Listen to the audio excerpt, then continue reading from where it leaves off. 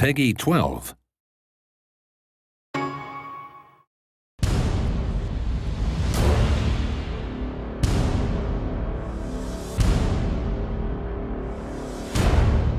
Hi, this is Tim Schwalk, producer on Heroes of Ruin at n-Space, and today we're going to focus on multiplayer gameplay and the Gunslinger. So here I am as a gunslinger in the Frost Reaches in the second half of the game. At this point, the goblins have some information that I really need, but before they'll help me, the goblin chieftain's requiring me to help them with a few of their experiments. Ah, yes. The gunslinger is the most mobile of our characters. He's a great ranged character who does decent damage, and he's very good at weakening enemies with debuffs, putting negative effects on them. While he has more health than the Alchitect, he can become more easily overwhelmed by a group of enemies. He deals more direct damage to single enemies, making these Glacier Golems easy pickings. Here I'm using a mix of my default charge attack, my powerful Bullet Storm ability, and Bullet Barrage, which allows me to strafe as I fire. He's strong enough to play alone, but he's fantastic paired with other characters. For instance, the Gunslinger has some great moves that stun enemies, and the Vindicator has some moves that take advantage of that, dealing automatic critical hits on stun enemies as one example. I don't have the energy. I'm down. Here I'm using the armor piercing buff, which allows me to fire through enemies, dealing damage to those behind them.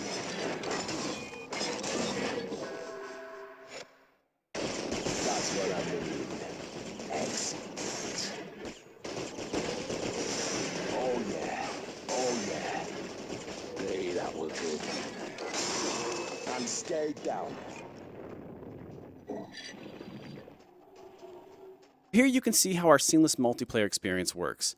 As a host, you'll get a notification when someone joins or leaves your game, and at that point, the difficulty of the level will adjust itself on the fly.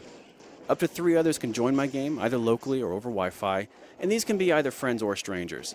You can voice chat with friends over Wi Fi, and you can even talk to non friended players if your system's parental control settings allow for it.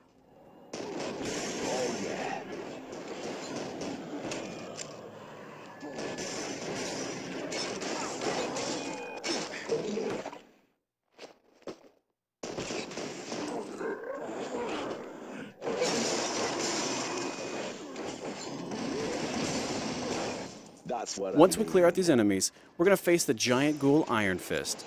He shouldn't present too much of a challenge for us.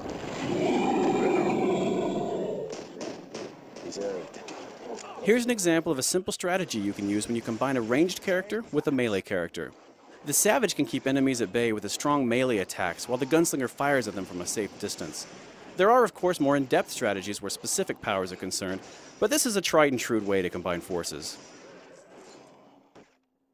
At this point, the Goblin Chieftain and his scientists are going to bring together all of the knowledge we've helped them gather through the experiments, and they're going to try and create their very own hero. As with all battles in the game, this one actually becomes more difficult as additional players join the fray. Of course, with additional allies, you open yourself up to all sorts of strategic advantages. Unfortunately, something goes terribly wrong, and we're left to clean up the mess. The Goblin Colossus attacks actually resemble some of the experiments you helped the Goblin scientists complete. The Goblin Colossus also becomes more dangerous as he nears death. He has a desperation buff that boosts his damage potential when he's low on health. One cool thing to note is that all buffs are shared between party members at certain distances when they're at their max level. Another cool thing is that you can earn benefits by playing with your friends. Heroes of Ruin is a lot of fun when playing alone, but the full potential of the title is unlocked when you join the quest to cure Ataraxis with other gamers. Watch for Heroes of Ruin coming soon exclusively to the Nintendo 3DS.